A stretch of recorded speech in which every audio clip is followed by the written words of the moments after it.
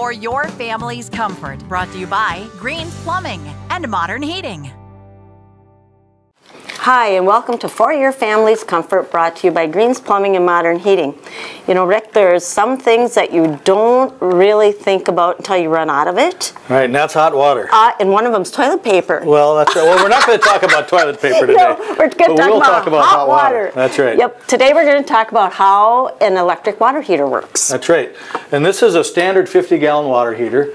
Uh, excuse me, a standard 50 gallon electric water heater that we sell out here at Greens Plumbing. And um, one thing that you everybody needs to be aware of is that the, the federal government has given us some energy updates and some goals uh, and some requirements we have to comply with. And one of those is to have a better insulated water heater. This particular one, like all the Reliance water heaters that we sell, has a, has three inches of foam all the way around the, the circumference and on top and bottom. So new water heaters are probably going to be bigger than your old one. Yeah, so if you have it's to kind of a tough yeah. job to get them snuck in. In the same spot. That's yep. right. Yep.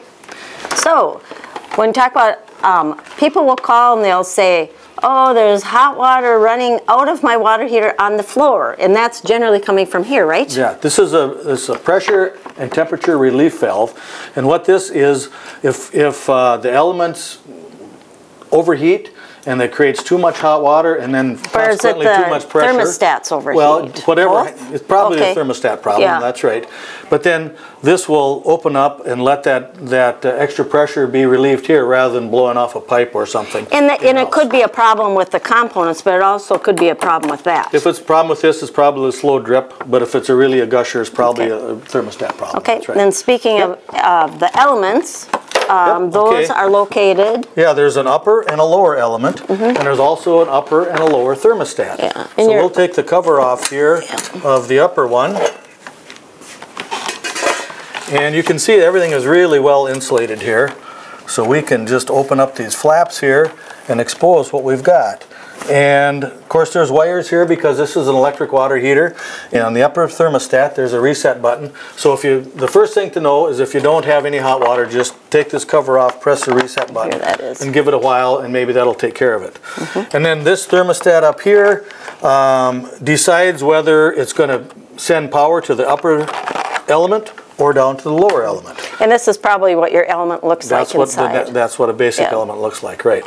And the, all these water heaters are high recovery, meaning if if you start with a cold tank, it's going to uh, energize just the top element, so it takes less time to heat this much water. And then as soon as this much is warmed, then it's going to send the power down to the bottom element to heat the rest of the uh, the, the tank Yeah, and then your, the, the lower thermostat's down here and another element. And right. sometimes when people call and they say, I have hot water, but I run out quickly. Yeah. So That's if there's a usually a problem, problem. typically the bottom element is the one that, that goes out first because that's the one after the tank gets warmed up, that's the one that gets Okay. used the most.